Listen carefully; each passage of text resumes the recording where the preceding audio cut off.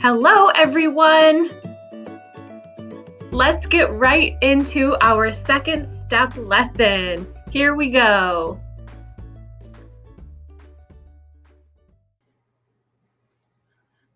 We've been learning about how to calm down when we have strong and uncomfortable feelings.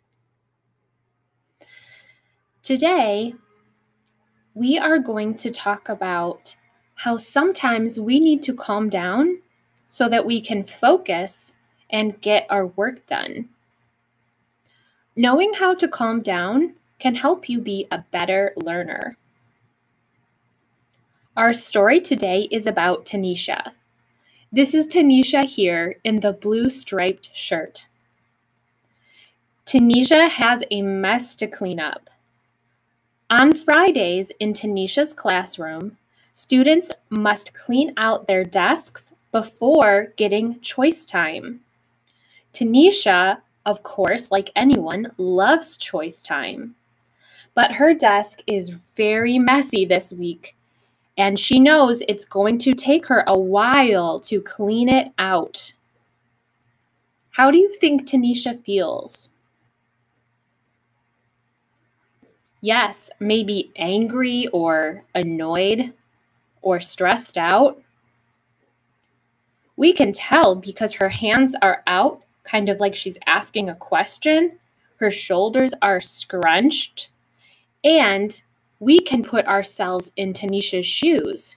If we had a big mess to clean up, we might feel frustrated too.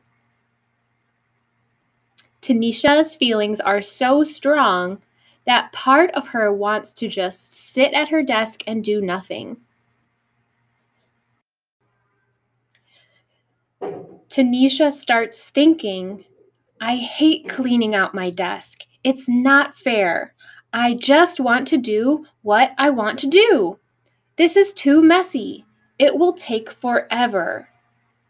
This isn't fair. Tanisha is using negative self talk.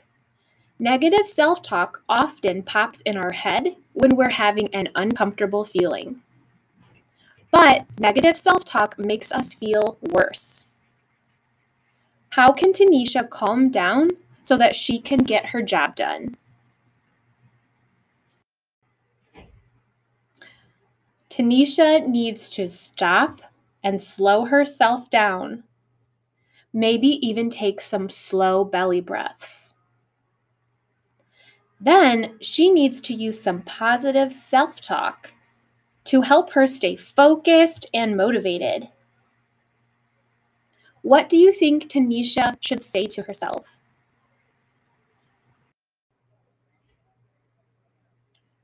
Maybe Tanisha could say something like, I'm going to work really hard for two minutes and see what I can get done. Or she could say, Maybe it won't take me too long if I focus.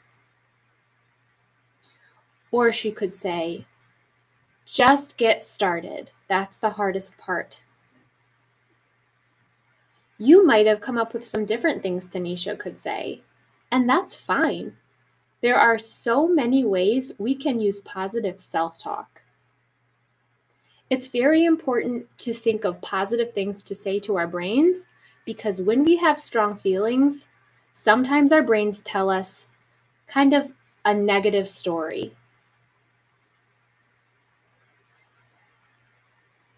You have probably all been here and had a big job to do that seemed like it would take forever. When this happens, it's important to slow down and notice how you're feeling. Pay attention to what your thoughts are telling you. You may need to tell your brain something else. All right, we're going to end our lesson for today by watching our Calm It Down dance video.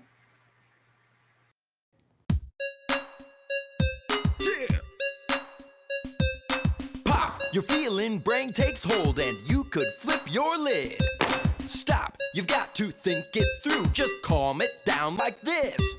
Stop and name your feeling, calm down. Stop and name your feeling, calm down. Stop and name your feeling, calm down. Stop and name your feeling, calm down. Every day we can have strong feelings, strong emotions that send us reeling. But there are steps we can take to calm down. These are the keys to turn things around. Just stop name your feeling. Turn on your brain. Start thinking, not just feeling. calm it down. Do some breathing. Calm it down. And some counting. One, two, three, four. Calm it down. Use self talk. I can do it, I can do it. And keep thinking. Stop. Name what you're feeling now and take some belly breaths. Say good things it, to I yourself. Count One, and calm two, the feeling four. down. Stop and name your feeling, calm down. Stop and name your feeling, calm down. Stop and name your feeling, calm down. Stop and name your feeling, calm down. Say someone bumps you when you drop your stuff. You can't think clearly, you're feeling rough. Just say stop. Name what you're feeling. Take back your and don't hit the ceiling. Stop. Name what you're feeling now and take some belly breaths. Say good things it, to I yourself. Count and calm the feeling down. Stop and name your feeling, calm down. Stop and name your feeling, calm down. Stop and name your feeling, calm down. Stop and name your feeling, calm down.